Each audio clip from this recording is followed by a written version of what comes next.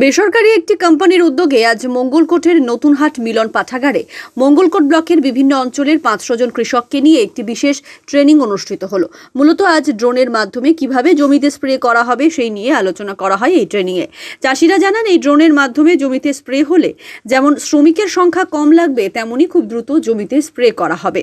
পাশাপাশি বর্তমানে বিষধর সাপের প্রকোপ দারুণভাবে বেড়ে গেছে, সেই থেকেও মুক্তি পাবে চাষিরা। চাষিদের? সুবিধা চাষিদের কম সময়ের মধ্যে স্প্রেটা হয়ে যাবে লেবার কস্টিং অনেক কম পড়বে। প্লাস আজকে আমাদের ম্যাক্সিমাম মঙ্গলকোটের এলাকায় যে ক্যানেল এরিয়া আছে বা নদী এরিয়া আছে, বন্যার ফলে একটা সাপের ব্যাপক উপদ্রব। সে মানে একটা, এমন একটা সাপ যেটা কামড়ালে কিন্তু মানে খুবই বিষধর যেটা জলে, জলেতে জমির মধ্যেই রয়ে গেছে। সেই ভয়ে অনেক অনেক এরিয়া আছে যেখানে স্প্রে করে না। ধানটা রয়ে চলে আসে, তারপর কিন্তু সাপের ভয়ে স্প্রে হয় না, সেক্ষেত্রে ধানের ফলনও হয় না, অনেক সময় সেই ধান কাটাও যায় না। সেই ক্ষেত্রে একটা বিশাল সুবিধা হবে যেহেতু স্প্রেটা উপর থেকে হবে তাকে জমিতে নামতে হবে না।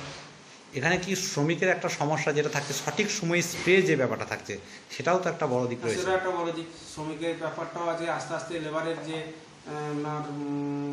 ইয়ে করছে যেটা লেবার যেমন পাওয়া যাচ্ছে না। লেবার অনেক লেবার জমিতে স্প্রে করতে যায় না অনেক সময়। সবার তারা জীবনে মরার ভয় আছে, সে জমিতে স্প্রে করতে যায় না। সেই ক্ষেত্রে তো ড্রোন তো মানুষের পক্ষে একটা ভালো দিক। তো কি মনে হচ্ছে আগামী দিনে যেরকম হারভেস্টার মেশিন অ্যাভেলেবেল হয়ে গেছে ড্রোন কি মঙ্গলকোটের বা অন্যান্য ব্লকগুলোতে অ্যাভেলেবেল হবে? যেমন জমিতে নামতে হয় বিশেষ করে ধান জমিতে জল থাকে, আপনারা জানেন সবাই। তো সেখানে ধান জমির বাইরে থেকে দাঁড়িয়ে ড্রোন উড়িয়ে স্প্রে করা যাবে, সেগুলো সুবিধা পাবে। প্লাস হচ্ছে ধরুন প্রাকৃতিক দুর্যোগ, অনেক সময় বাজ টাজ পড়ে বা তার ইলেকট্রিক তার এগুলো থেকেও মুক্তি পাবে, যে দূর থেকেই করতে পারবে। সবসময় চায় চাষিকে কিছু প্রয়োজনে মানে থাকতেই হবে ওখানে, সেটারও দরকার নেই। খালি ড্রোন চলে গেল ওখানে বুকিং করে দিল এখান থেকে সেখান থেকে ওরা চাষিরা সার্ভিস পেয়ে যাবে। দশ মিনিটে কত একর জমিতে? মোটামুটি এক একর ধরুন মানে দশ মিনিটের কম সময় হয়ে যাবে। এক একর জমি? এক একর জমি। মানে আড়াই বিঘা তিন বিঘা জমি। এই যে ড্রোন মানে দেখালেন আপনারা এটা কোথায় পাওয়া যাবে? এটা আমাদের এই ঝিলু নতুনহাট মঙ্গলকোট যে আছে এখান থেকে এই কেন্দ্র থেকেই পাওয়া যাবে বুকিং এখানে কি আপনারা ইয়ে করেছেন? হ্যাঁ আমরা এখানে পরিষেবা দেবো এখানে আমরা রাখব পাইলট রাখব ড্রোন রাখব এখান থেকে যেমন চাষিরা আসবে বুকিং করবে সেই অনুযায়ী ওনারা সার্ভিস পাবে। আজ এই বেসরকারি কোম্পানির বিভিন্ন আধিকারিকরা এসেছিলেন এই অনুষ্ঠানে।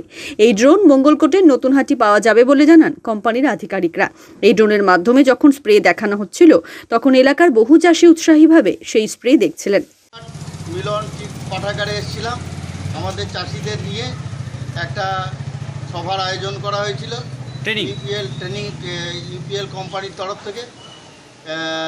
মূলত আধুনিক চিকিৎসা এই কৃষি পদ্ধতিতে ড্রোনের সাহায্যে কীভাবে কীটনাশক দেওয়া হবে সেই সব ব্যাপারে আমাদের জানানোর জন্য অবগত করা হয়েছে। আগে তো কখনো দেখিনি কেমন লাগল আপনার খুবই ভালো লাগল এবং খুব অত্যাধুনিক জিনিসপত্র দেখে আমাদের খুব ভালো লাগল যাতে পরবর্তীকালে আমরা এই জিনিস দিয়ে ব্যবহার করতে পারি।